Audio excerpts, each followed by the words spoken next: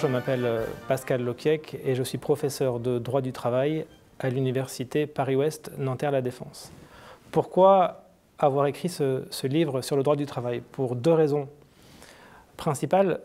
D'abord, euh, pour euh, essayer de rendre accessible cette matière qui est souvent décrite comme extrêmement complexe.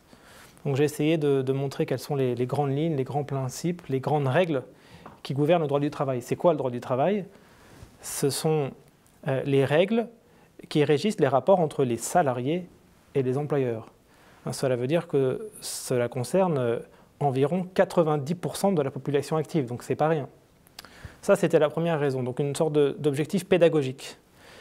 La deuxième raison, c'est de répondre euh, aux critiques extrêmement fortes que subit depuis quelques années le droit du travail. Et ces critiques sont encore plus fortes depuis quelques temps, euh, on va dire depuis, euh, depuis un an.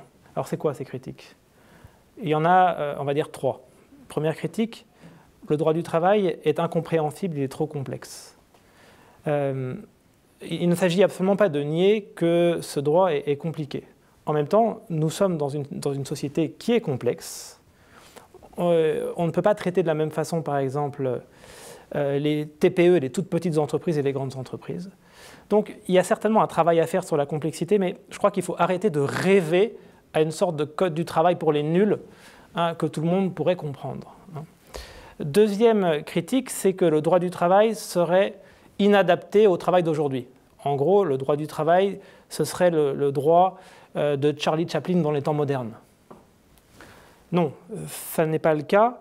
Et euh, un film qui vient de sortir, La loi du marché, d'ailleurs, le montre très bien. Si vous preniez l'exemple des caissières euh, des supermarchés, qui travaillent euh, dans des conditions souvent très difficiles, euh, dans les courants d'air, ce sont des personnes qui sont subordonnées, comme pouvait l'être euh, un, travailleur il y a 50 ans. Alors c'est vrai qu'aujourd'hui, il y a des travailleurs, notamment les télétravailleurs, qui sont dans une situation un peu différente, qui bénéficient d'une certaine autonomie. C'est-à-dire que pour eux, euh, le temps de travail et le lieu de travail n'ont pas le même sens que pour d'autres. C'est-à-dire que le temps de travail s'arrête quasiment jamais et le lieu de travail il dépasse les frontières de l'entreprise. Mais j'ai aussi voulu montrer que ces travailleurs, même s'ils ne sont pas subordonnés comme pouvait l'être euh, Charlie Chaplin dans les temps modernes, ils, sont euh, sous un contrôle permanent, sous une surveillance permanente, que ce soit de leur mail, de leur SMS. Et troisième critique, enfin, qui me semble la plus sérieuse, c'est cette idée que le droit du travail, que les règles de protection des salariés seraient des coûts. On entend, on entend le, licenciement, ça coûte trop cher, le SMIC, ça coûte trop cher aux entreprises, du coup elles n'embauchent pas. Euh, on entend parfois même aujourd'hui avec euh, la critique des seuils sociaux que euh, les règles sur les comités d'entreprise, sur les syndicats, elles coûtent trop cher, etc. Donc à ça, qu'est-ce qu'il faut répondre? Il faut répondre qu'on est avant tout en présence de personnes humaines.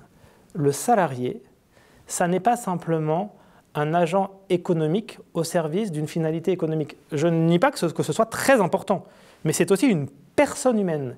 Et ça, le droit du travail le connaît, le reconnaît de manière très forte et il faut le protéger. Il le reconnaît comment? En protégeant la vie personnelle des salariés, en protégeant la santé et la sécurité des salariés. Euh, si on veut que notre société continue à bien fonctionner, et ça ne va pas très bien aujourd'hui, attention à ne pas euh, tout faire au nom du progrès économique et à faire que le progrès économique euh, se développe sans le progrès social. Les deux doivent aller de pair et pour ça, la protection des salariés et le droit du travail qui euh, a notamment pour fonction euh, la protection des salariés, il faut le, préserver. Voilà, telle était l'ambition de mon ouvrage. Merci.